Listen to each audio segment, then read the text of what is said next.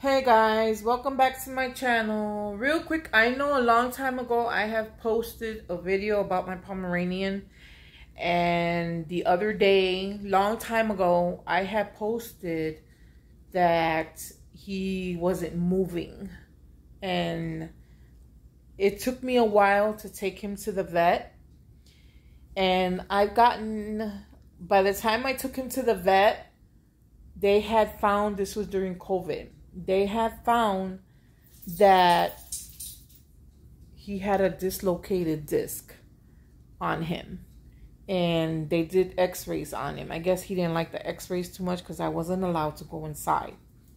So they did x-rays on him and they said they had found a dislocated disc. Meaning i needed to be careful with him because he could probably stop walking or something because his back he was like real stiff and everything and he wasn't able to walk or anything like that. So i did take him to the vet. This was a long i think this was like what a year ago now? So i took him this year. They found that his blood count was low and they said that he's got more white cells than he does his blood cells. So i was only to take him i was only able to take him that one time. It costed me almost $500 that I'm still paying back for him. They gave me medications and they told me in order for him to re-get his shots, he needed to get fat. So I've been trying dog foods. He hasn't been pooping like he's supposed to, but I've been giving him wet dog food because his teeth are bad. So he's been eating wet dog food and he's been eating dry dog food and I noticed he's been getting heavy, but I could still kind of feel his bones in the back, so he still needs to get a little fattening up before I can give him his other shots, his rabies shots, so that he can get it for this year.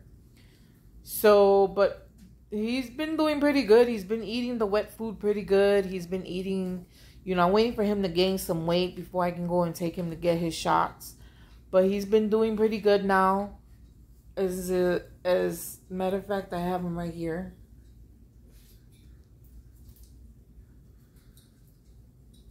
So he's been he's been doing pretty good with his dog food, making sure he's eating all his dog food so I can get his shots. So hopefully he's gonna also be if he's doing pretty good, he's gonna also be on them t-shirts that I've been talking about that I wanted to put on my dogs. I wanted to put um, t-shirts, their you know their faces on the t-shirts. So he's been doing pretty good. He's got something on his fur though.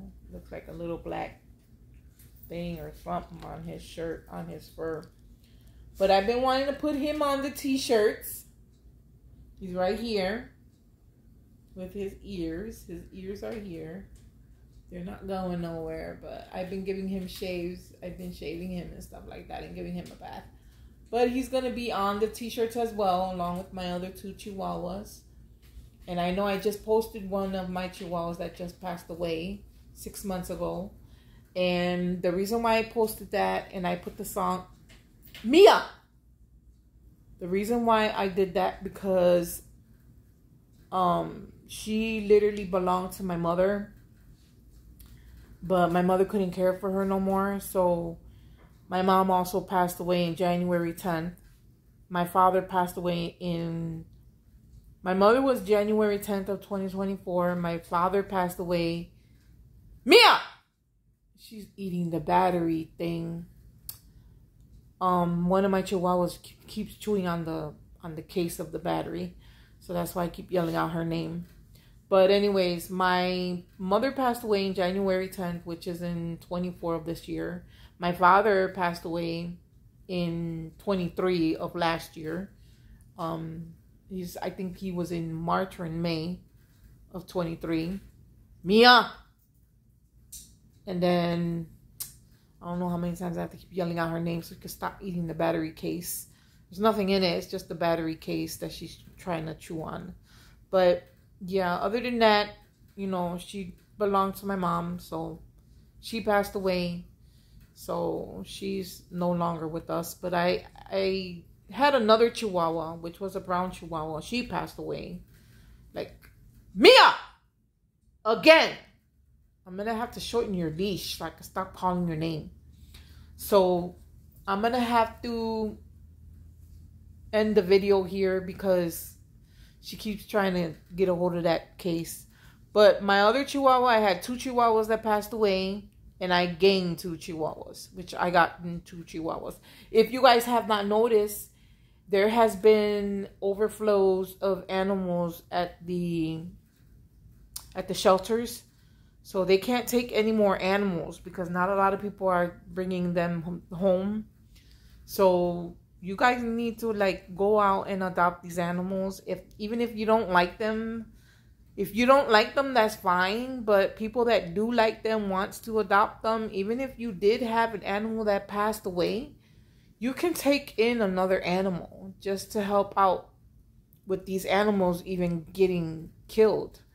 I mean a lot of these animals are being put down because no one is taking care you know they don't want to bring in an animal but if you're a if you're a dog lover, cat lover, whatever, if your animal passed away, take in another animal because you know we don't want these animals to be um, put down to die because you know nobody won't take them in. I would take them in. I already lost two animals.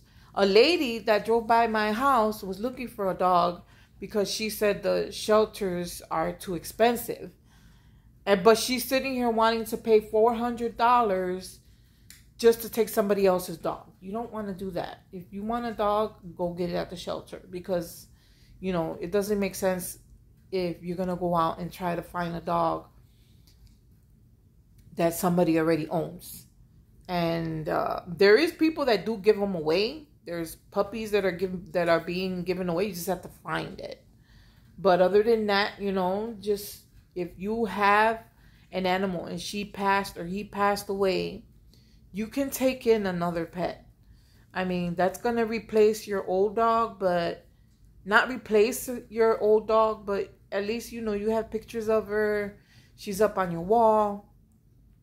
I actually have two of my chihuahuas that were cremated and I have it there. But you know, if my other dogs pass away, I'm gonna let their ashes go. You can make you can. There's a place where you can let their ashes go, and you know you don't have to keep the ashes. You can let their ashes go, and then just go take in some more pets. Um, like I did. I took in two more chihuahuas because you know I didn't want them to go to a shelter just to go be put down. You don't want to do that. So, you know, just take them in if you have to. If you even know you lost your dog, just take them in. I mean, there's nothing wrong with that. So, I'm going to go ahead and end the video because, you know, I she keeps chewing on that battery case. But I'm going to let you guys go. These are my, this is what, this is my Pomeranian. And that's my other Chihuahua right there. see if you can see her. She's right there, my other Chihuahua. And the one that's chewing on the battery, she's actually right here. This is Mia, the one that keeps chewing on the battery case, which I am going to remove her. But without further ado, guys, I will see you guys on my, my next channel. Hopefully, I will have something different. And you guys have a blessed day. Have a wonderful day. You guys enjoy yourself. Enjoy the weather. Hopefully we will be in Halloween, Christmas. So we still got a long way. What, six months maybe? And I will see you guys on my next channel later. Bye.